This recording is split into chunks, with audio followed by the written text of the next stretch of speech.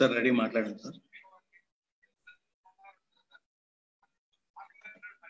అందరికి నమస్కారం. ఈరోజు ఆంధ్ర రాష్ట్రంలో ఈ కోవిడ్ నైన్టీన్ ప్రమాదకరమైన కరోనా వ్యాధి కంట్రోల్ చేయటంలో ప్రభుత్వం పూర్తిగా విఫలమైంది. నాకు అనిపించేది ఏంటంటే చేతులెత్తేసింది ప్రభుత్వం. ముఖ్యమంత్రి గారు అడ్మినిస్ట్రేషన్లో టోటల్గా ఫెయిల్ అయిపోయినారు. ఎక్కడా కంట్రోల్ లేదు మీకు. మీ ఐఏఎస్లు ఐపీఎస్లు ఇన్యాక్టివ్ అయిపోయినారు. ఎందుకో వాళ్ళు సందిగ్ధంలో పడిపోయినారు. మీ ఎమ్మెల్యేలు రెచ్చిపోతున్నారు.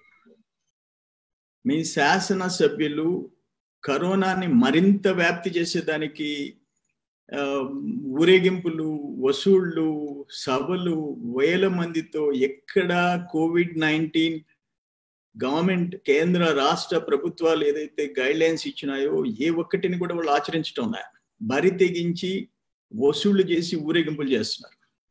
కరోనా మరింత కమ్యూనిటీ ట్రాన్స్ఫర్కి వాళ్ళే కారణం అవుతున్నారు నేను అడిగేది ఏంటంటే ముఖ్యమంత్రి జగన్మోహన్ రెడ్డి గారు ఎందుకు కంట్రోల్ చేయలేకపోతున్నారు మీ శాసనసభ్యుల్ని? మీరు చిత్తూరు జిల్లా తీసుకోండి కాళాసి తీసుకోండి ఇంకో నగిరి తీసుకోండి ఇంకా నెల్లూరులో మొత్తం చులూరుపేట నుంచి సర్వేపల్లి నుంచి కావలి దాకా తీసుకోండి. గుంటూరు కర్నూలు ఒక్కసారి మీరు మందలించలేకపోతున్నారా అని అడుగుతున్నాను నేను. ఇప్పుడు కొంతమంది శాసనసభ్యులు చెప్పారు కోట్ల రూపాయలు మేము నిధులు సేకరించి పేదవాళ్ళకి పంపకం చేస్తామంటున్నారు. మీరు సేకరించే దానికి లేదు. ఎవరైనా సహాయం చేయాలనుకుంటే వాళ్ళే నేరుగా ప్రజలకు సాయం చేస్తారు. అత్త సొమ్ము అల్లుడు దానం చేసినట్టు మీరు గొంతు మీద కత్తి పెట్టి కోట్ల రూపాయలు మీరు వసూలు చేసేది ఏంది? రూపాయికి పావల మీరు పంచిపెట్టేది ఏంది? పేదోళ్ళకి ఎవరిచ్చారు? రెండు వేల ఐదు చట్టం కేంద్ర ప్రభుత్వం చేసింది కార్గిల్ వార్ పేరు పెట్టి నిధులు వసూలు చేసి కొల్లగొడుతున్నారని చెప్పేసి ఆ రోజు ఒక చట్టం తెచ్చింది. ఎవరైనా ఒక రికగ్నైజ్డ్ పర్మిషన్ ఉండే సంస్థ నిధులు సేకరించిన వివరాలతో కూడా ప్రభుత్వం అనుమతితో వాళ్ళు ఏదైనా ఖర్చు పెట్టేదానికి ఉంది కానీ ఎవరి పార్టీ వాళ్ళు డబ్బులు వసూలు చేసేదానికి లేదు. సర్వేపల్లిలో మూడున్నర కోటి రూపాయల విలువ నేను పంచుతున్నాను అన్నారు. మూడున్నర కోటి లెక్క చెప్పండి.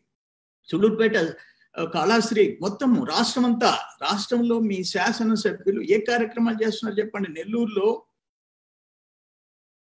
ఐ మీన్ మీరు ఇన్ని వందల వేల మందితో మీ కార్యక్రమాలు చేసేదానికి లేదని ఎస్పీ గారు కంట్రోల్ చేసేదానికి ప్రయత్నం చేశారు. ఒక ఎమ్మెల్యే మీద కేసు పెట్టారు. రెండో ఎమ్మెల్యే దాన్ని కంట్రోల్ చేసేదానికి ప్రయత్నం చేస్తే ఎస్పీని కలెక్టర్ని నోటుకొచ్చినట్టు తిట్టారు. బహిరంగంగా మీ అధికార పార్టీ శాసనసభ్యులు మీ పార్టీ శాసనసభ్యులు. అక్కడి నుంచి కలెక్టర్లు ఎస్పీలు చేతులు ఎత్తేశారు. అక్కడ ర్యాలీలు చేస్తున్నా కంట్రోల్ చేసేదానికి వాళ్ళకి ధైర్యం రావటంలా చూస్తూ ఉండిపోయినారు. ఎమ్మెల్యేలు మీరు ఏం చేస్తారో చేసుకోండి అని చెప్పేసి బెదిరించి చేస్తున్నారు. ఎందుకని మీరు మీ ఎమ్మెల్యేలను కంట్రోల్లో పెట్టుకోలేకపోతున్నారు? అక్కడి నుంచి కలెక్టర్లు ఎస్పీలు మాకెందుకు వచ్చిందని చెప్పేసి నిస్సహాయాలుగా మిగిలిపోయినారు. నేను అడుగుతున్నాను ఈరోజు మర్కస్ ఢిల్లీలో సభలో వాళ్ళు ఎప్పుడో జనతా కర్ఫ్యూ ఇరవై రెండు వచ్చింది మార్చి. వాళ్ళు పదమూడు పద్నాలుగు పదిహేను పెట్టారు. ఒకవేళ దానివల్ల వ్యాప్తి వచ్చి ఉండొచ్చు. నేను కాదనలే. ఆ ఆ మక్క సభ హెడ్ మీద త్రీ నాట్ ఫోర్ కేసు పెట్టారు. సెక్షన్ త్రీ నాట్ ఫోర్ అంటే కొంతమంది వ్యక్తులు చనిపోయేదానికి నువ్వు కారణం అని చెప్పి పెట్టారు. పది సంవత్సరాలు జైలు శిక్ష చేసి వేసే సెక్షన్ పెట్టారు. బట్ నేనేమంటానంటే అప్పటికి జనతా కర్ఫ్యూ రాలేదు లాక్డౌన్ రాలేదు రెడ్ జోన్లు నిర్ణయించలేదు. ఈరోజు రెడ్ జోన్లు ఇచ్చిన తర్వాత మొత్తం లాక్డౌన్ కంటిన్యూ అయ్యేటప్పుడు రెడ్ జోన్ జిల్లాల్లో మీ వాళ్ళు ఊరేగింపులు చేసేసి ప్రదర్శనలు చేస్తుంటే మీరు ఎందుకు పెట్టరు? ఆ సెక్షన్లో ఇక్కడ ఎందుకు మీ ఎమ్మెల్యేల మీద ఎందుకు పెట్టరు? ఎందుకు అరెస్ట్ చేయరు? అంటే ఒక్కొరికి ఒక్కో చట్టమా? దేశం కేంద్ర ప్రభుత్వం త్రీ నాట్ ఫోర్ మీద మక్కజ్ అధినేత మీద పెట్టింది. ఇక్కడ మీ ఎమ్మెల్యేలు చేసేది కరెక్ట్ చేస్తున్నారా? ఈరోజు కర్నూలు తగలబడిపోతుంది. ఇంకొక ప్రశ్న వేస్తున్నాను నేను ముఖ్యమంత్రి గారిని. మీరు పసి వయసులో లో ముఖ్యమంత్రి అయినారు. మిమ్మల్ని గెలిపించారు. భారీ మెజారిటీ ఇచ్చారు. ఓకే. ఐదేళ్ళు మీరు పరిపాలించండి. కర్నూలు తగలబడిపోతుంటే మీ శాసనసభ్యులు విచ్చలవిడిగా ప్రవర్తిస్తుంటే ఒక్కరోజు మీరు కుర్రోళ్ళు. మీరు పోయేసేసి కర్నూలు విజిట్ చేయలేరా? గుంటూరు విజిట్ చేయలేరా? కృష్ణా పోలేరా? నెల్లూరు దాకా రాలేరా? ఒక నాలుగు జిల్లాలు పర్యటించలేరా? పరిస్థితిని అదుపులో తెచ్చడానికి ప్రయత్నం చేయరా మీరు? ఎందుకని ఇంత మీరు పసి వయసులో మీరు ఎందుకు ఈ విధంగా తయారవుతున్నారు? అసలు అర్థం కావటం రాష్ట్రంలో ఈరోజు ఉండే పరిస్థితి ఏంటంటే ప్రభుత్వం కరోనా విషయంలో కోవిడ్ నైన్టీన్ విషయంలో గట్టి చర్యలు మీరు తీసుకోవటం లేదు. మొన్న కేంద్ర ప్రభుత్వం ఏప్రిల్ ఇరవై వరకు ఇరవై దాటిన తర్వాత కొన్ని రిలాక్సేషన్స్ ఇచ్చింది.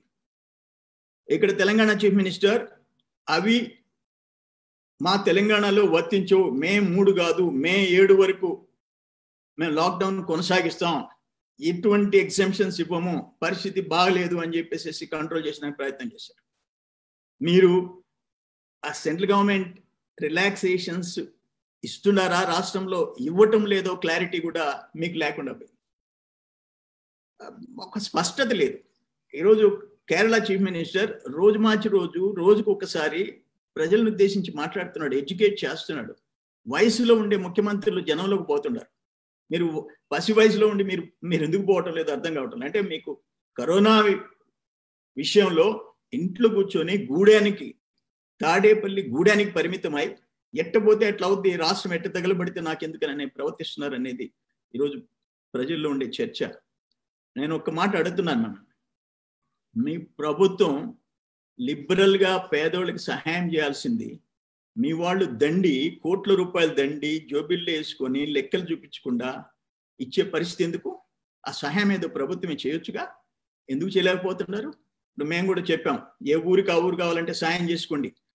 మీరు వచ్చి కలెక్ట్ చేసి చేయాల్సిన అవసరం లేదు. ఎవరికైనా మంచి మనసు ఉంటే అన్నం వండి పెట్టండి. మంచి మనసు ఉంటే నాలుగు కూరగాయలు బియ్యము ఏదో ఒకటి ఇవ్వండి. పప్పులు ఏదైనా ఉంటే ఇవ్వండి. ఎవరి పేర్లు వేసుకోబడలే దానికోసం ప్రదర్శన పడలే. అది కూడా ఈరోజు ప్రభుత్వం మా ఎంఆర్ఓలు కలెక్టర్లకి ఏమన్నారు? అట్లా ఇస్తున్నారు. త్రూ కలెక్టర్స్ ఎంఆర్ఓలకి ఇచ్చి ఏదో చేయమని చెప్పి చెప్తున్నారు. కానీ ఒక్క మీ ఎమ్మెల్యేలకు మాత్రం చట్టానికి అతిథులు ప్రవర్తిస్తున్నారు. మీ ఎంపీలు అదే విధంగా ప్రవర్తిస్తున్నారు. జిల్లా జిల్లాలు తిరుగుతున్నారు. రెడ్ జోన్ ఏరియా దాటి గ్రీన్ జోన్ ఏరియాకి పోతున్నారు. కట్టడి చేసే పరిస్థితి ఈరోజు లేకుండా పోతుంది. రైతులు రైతులు పరిస్థితి దీనంగా ఉంది. మీరు ఏం చేస్తున్నారు? ఒక ఎగ్జాంపుల్ చెప్తాను. నెల్లూరు జిల్లాలో ధాన్యం ఈ పంట అయిపోయింది. మాది మొదటి పంట మొదటి ఫస్ట్ క్రాప్ పదహారు లక్షల టన్నులు ప్రొడక్షన్ అంచనా వేసింది. ఇంకా అంతకంటే కూడా దాటి వచ్చింది ప్రొడక్షన్ రెండు లక్షలు ఇప్పటికి రెండు లక్షల టన్నులు మీరు ప్రొక్యూర్ చేశారు. కరోనా టైంలో రైతులు ఇతర రాష్ట్రాలకు తీసుకోపోలేని టైంలో మేము రెండు వేల పదహారులో మూడు లక్షల అరవై వేల టన్నులు ప్రొక్యూర్ చేశాం. రెండు వేల పద్దెనిమిదిలో రెండు లక్షల డెబ్బై వేల టన్నులు ప్రొక్యూర్ చేశాం. ఇటువంటి క్రైసిస్లో భయంకరమైన పరిస్థితుల్లో మొత్తం మేమే ప్రొక్యూర్ చేస్తామని ముఖ్యమంత్రి గారు సెలవిచ్చారు. ఎందుకు చేయలేకపోతున్నారు? నేను ఒక్క మాట ఇంకోటి అడుగుతున్నాను. లాస్ట్ ఇయర్ మా టైంలో రెండు వేల మూడు వందల కోట్లు మీరు బాకీ పెట్టారు ఇన్పుట్ సబ్సిడీ. కరువు కాటకాల్లో ఇవ్వాల్సింది. లాస్ట్ ఇయర్ ఇవ్వలేకపోయినాం ఎలక్షన్ వచ్చింది చీఫ్ సెక్రటరీని మార్చడం ఇబ్బందులు వచ్చినాయి. మీరు ఫస్ట్ శాసనసభలో మేము రెండు వేల మూడు వందల కోట్లు తెలుగుదేశం ప్రభుత్వం బాకీ పెట్టింది మేము ఇచ్చేస్తున్నామని ప్రకటించారు. సంవత్సరం అయిపోయింది. అంటే మీరు చెప్పింది చేయండి మీ రైతులకు ఏం చెప్పారో చేయండి. మొత్తం మేము ప్రొక్యూర్ చేస్తామన్నారు. ఈరోజు తోటలు హార్టికల్చర్ రైతులు అన్యాయం అయిపోతున్నారు వాళ్ళని గురించి పట్టించుకునే దిక్కు లేదు. మీరు చెప్పేది దానికిను చేసేదానికిను సంబంధం లేదు.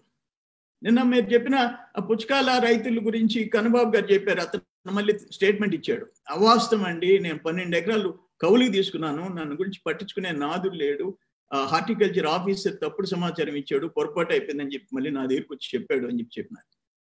అంటే ఇంత ఎందుకు ఏ శాఖల్లో ఏ విధమైన కరోనా కట్టడి విషయంలో కానీ లేకపోతే రైతుల పంటలు సేకరించే దాంట్లో కానీ ఎందుకు ఇంత విఫలమైపోయి పరిపాలన గాలి వదిలేసినారని చెప్పేసి మేము అడుగుతా ఉన్నాం.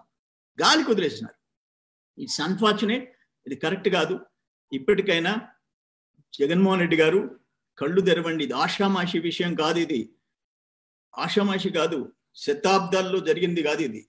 ఎవరు ఈ- ఈ జనరేషన్ పుట్టిన తర్వాత ఇప్పుడు ఎవరైతే బతికుండారో వాళ్ళు ఎప్పుడు చూసిన విపత్తు కాదు ఇది. మీరు ఏదో తేలిగ్గా లైట్గా తీసుకొని ఇంట్లో కూర్చొని ఆమ్, మీరు గాలికి వదిలేసేసినారు. ఏది ఏమైనా సీరియస్గా తీసుకోండి. మీ ఎమ్మెల్యేల మీద యాక్షన్ తీసుకోండి. మీ ఎమ్మెల్యేలు ఎంత వసూలు చేశారో లెక్క కట్టించండి. చట్ట ప్రకారం చర్యలు తీసుకోండి. అంతేగాని నూట డెబ్బై ఐదు మందికి చెప్పేసేసేయండి ఇంకా. లేదంటే నూట డెబ్బై ఎవడైనా సరే వసూలు చేసుకోండి మీ ఇష్టం అని చెప్పి చెప్పండి. ఆంధ్రప్రదేశ్లో ఈ ప్రజల దగ్గర నుంచి నిధులు సేకరించే చట్టం ఎవరైనా చేసుకోవచ్చు. సేకరించకూడదని ఉండే కేంద్ర ప్రభుత్వం చేసిన చట్టం మా రాష్ట్రంలో చెల్లదు అని చెప్పండి. కురవాళ్ళు కూడా రోడ్ల మీద పడి దండుకుంటారు. ఇది మీరు క్లియర్గా చెప్పండి. ఎవరైనా సాయం చేయాలనుకుంటే వాళ్ళని నేరుగా చేయమనండి దాతల్ని. అంతేగాని వైపీ వైసీపీ ఎమ్మెల్యేలు ఎంపీలు వాళ్ళ ముద్రలు వేసుకొని గోతాల మీద వాళ్ళ ఫోటోలు వేసుకొని ప్రచారం చేసుకునే దానికి కరోనా సమయం ఇది సరైన సమయం కాదని చెప్పేసి మీకు చీఫ్ మినిస్టర్కి విజ్ఞప్తి చేస్తుండ వెంటనే కంట్రోల్ చేయండి. లేకపోతే రాష్ట్రం పరిస్థితి భవిష్యత్తు చాలా ప్రమాదకరమైన పరిస్థితులు ఈరోజు రాబోతుండే. దానికి మీరే బాధ్యులు అవుతారని చెప్పేసి నేను తెలియజేస్తున్నాను